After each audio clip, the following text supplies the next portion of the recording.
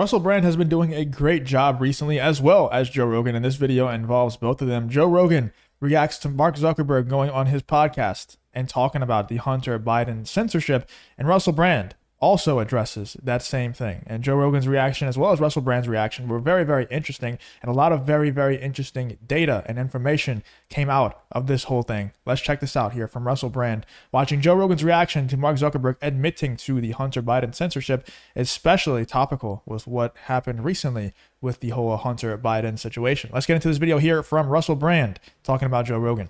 I'm very sympathetic to the idea that Hunter Biden's an addict in recovery. All addicts in recovery should have the opportunity for redemption and the opportunity to change. But is this really about that? Or is this about what he's not being convicted of or even charged with? Because those charges would lead us all the way to the White House and into a fair analysis of the degree of corruption within those institutions. Let's have a look at the legacy media reporting first of all. Hunter Biden is now a convicted felon. It took a Delaware jury less than three hours to find the president's son guilty, guilty, guilty on all three felony gun charges, deciding he violated laws meant to prevent those who use and are addicted to illegal drugs from owning firearms.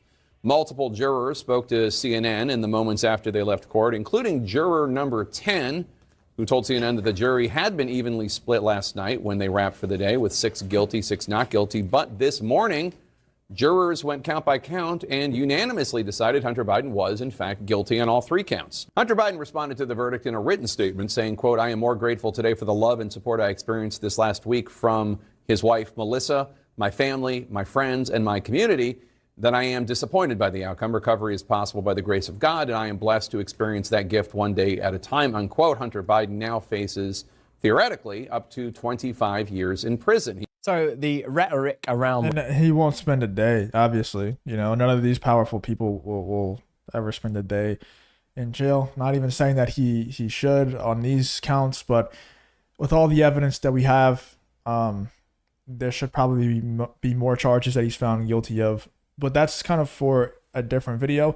This is more centered around the censorship and how scary this stuff is because it is very very scary what's happening with the censorship and thankfully, you know, I'm not a huge like Elon Musk stan or anything, but there's no doubt about it. There's been less censorship on X than there was on the previous regime of Twitter. There's no doubt about it. So thankfully, we have platforms like that. We have platforms like Rumble and these other platforms that don't have these mass amounts of censorship, and, and all we can do is hope that they stay like that. But what happens in mainstream media and, and the way that the DOJ has been weaponized against Trump and the opposite has been happening with Hunter Biden it's scary, dude. It's it's very scary because people are falsely accused of things all the time that don't get these mass amounts of coverage, that don't have actor money whenever actors are accused of things, that don't have the audience to be able to crowdfund for legal fees. And they just get convicted and, and they're just in jail. They're just locked up or they lose their house or their cars or whatever. You know, the DOJ is a it, it it's it's very it's very corrupt right now. We'll just say that and it, these these stories are suppressed on social media. So let's get into Russell Brand talking about the censorship that was discussed on Joe Rogan between Joe Rogan and, and Mark Zuckerberg here. Recovery is encouraging to hear, but over here in the Awaken Wonder chat, a lot of people are talking about human trafficking. A lot of you were talking about election interference. A lot of you were talking about the censorship that took place in 2020. Censoring this story at a time where people were making up their mind as to whether or not they could trust Joe Biden, whether or not Joe Biden was indeed, as he was claiming at the time, an adult that was going to reboot American democracy, that was going to reset what were regarded and reported to be the travesties of the Trump administration. If we now are to assume, as this case seems to verify, that that laptop was, of course, always. If you enjoy content like this, then make sure you subscribe to the channel and turn on the notification bell. It really does help me out a ton. Let's get back to the video. Legitimately, Hunter Biden, that the information on that laptop always was authentic, then suppressing the laptop story, which happened at large, was, if not just plain corruption, potentially election interference. Let's have a look at this. When Mark Zuckerberg was on Joe Rogan, he talked about the degree to which they censored the laptop story. Here are the things we have to consider. How important was the laptop story, Hunter Biden's exploitation of his relationship with his father, the fact that it seems to indicate that Joe Biden had business interests and potential kickbacks that are pretty peculiar, pretty off book, pretty dark. How significant is that? How easy does it make it to believe that he's a authentic and reliable, safe pair of hands president, particularly when you see him now, when you see him in the state of decline that he's in? And how important was it that it's it, it's mind blowing to me that people like there's a ton of people on the left that still think that Joe Biden will be a better president than Donald Trump. And uh, I mean, guys, I, are you that dumb? Like, are you that stupid? Even if you don't like the policies that Trump has, at least he has policies. At least he has the brain capacity to come up with these things. Joe Biden, every single time he makes a public appearance, has embarrasses himself. You know, and, and it's things like that that makes me just completely lose faith in in the United States, dude, because there's still a ton of people out there who genuinely think that Joe Biden should be reelected. The guy wanders off every time he doesn't have someone strapped to his arm to guide him where he needs to go. He wanders off or he poos on himself and has to get rushed to the bathroom. This is this is not me being hyperbolic. This is actually happening consistently. And a lot of people in this country think, "Oh yeah, Joe Biden's doing fine. He's doing a great job, you know."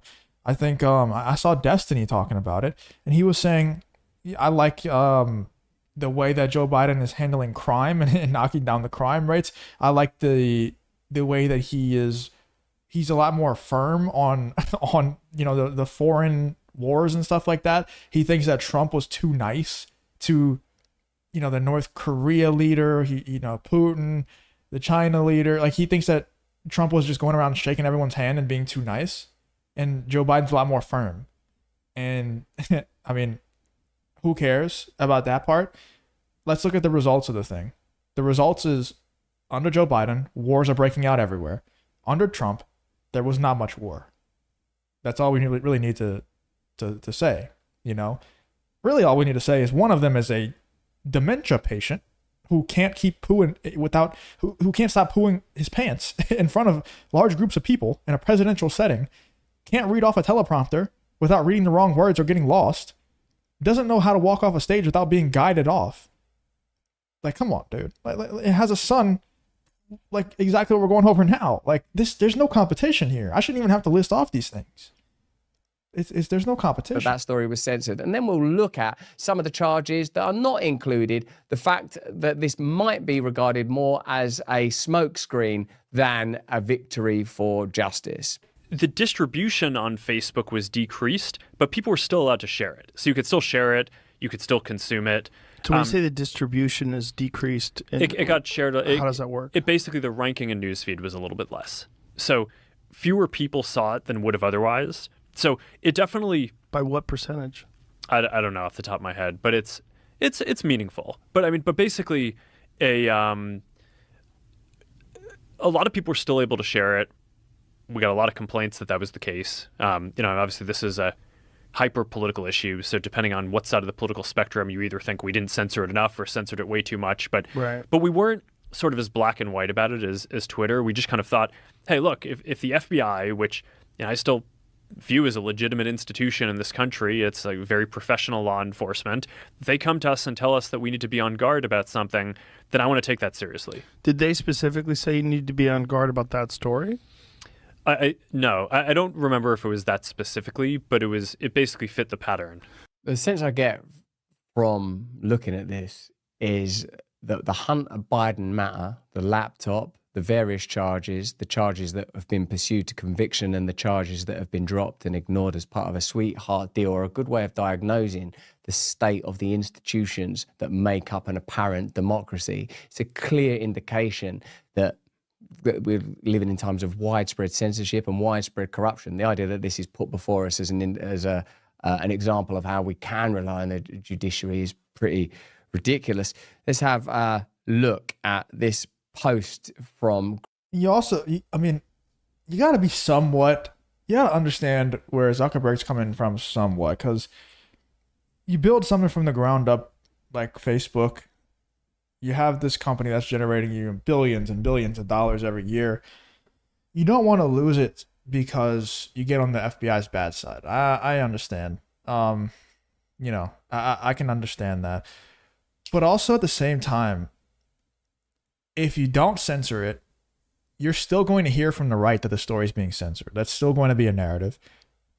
And you're also going to hear from the left that you need to censor it. If you do censor it, you're going to hear the same thing from both sides. You're going to, you know, the left is going to think it's not censored enough. The right's going to think it's too censored, no matter what you do. So, my thing is like, why censor it? Just if you care about free speech, you're going to hear the flack either way. Just don't censor it. The fact that he's saying that they did it, they censored it a little bit, but not all the way, as if that's trying that, that that's supposed to redeem him or redeem the way that Meta, Facebook acted during the whole situation. That's not that's not helping your case. You know, if you're going to hear the flack either way, you might as well do the right thing instead of the wrong thing. You know what I mean? So let me know in the comments what you think about this whole Hunter Biden stuff. What do you think of Russell Brand's reaction? I thought it was pretty spot on. Joe Rogan's reaction to the whole thing, obviously, pretty, pretty, pretty good as well. Let me know what you're thinking about this whole situation. It's getting messy out there. It's getting scary out there. Let me know how you're feeling about this whole Russell Brand and Joe Rogan situation.